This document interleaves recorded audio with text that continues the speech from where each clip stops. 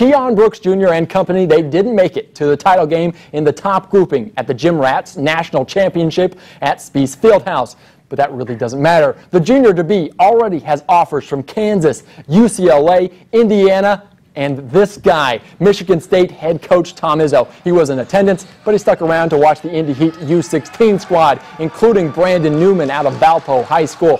He goes there for the slam. Then Harold Bennett from Attucks in Indy with a fancy layup. The family AAU team out of Detroit was there to play, and they just couldn't miss. Then on the other end, Wayne's own Craig Young Jr. He's muscling his way inside, double clutch for the lay-in. He's a big-time recruit in football and even basketball. The family, though, just too much to handle in the championship game as they win running away 74 41 is the final. In the eighth graders division, the Indy Heat 14 and under also in their title game. Jackson Paul breaks the pass and find Kalida, Ohio's Luke Erhart for the lay-in. And did I mention these kids are just 14 years old. Pierre Brooks the second with the dunk for the family out of Detroit. Wow. Here are some names you'll hear soon enough. Bishop Luers, Nayland Thompson with a sweet finish, and then Bishop Dwenger's, Brendan Lido with a stop and pop at the free throw line for two. But once again, the family, they outrace Indy Heat yesterday afternoon, 64-53.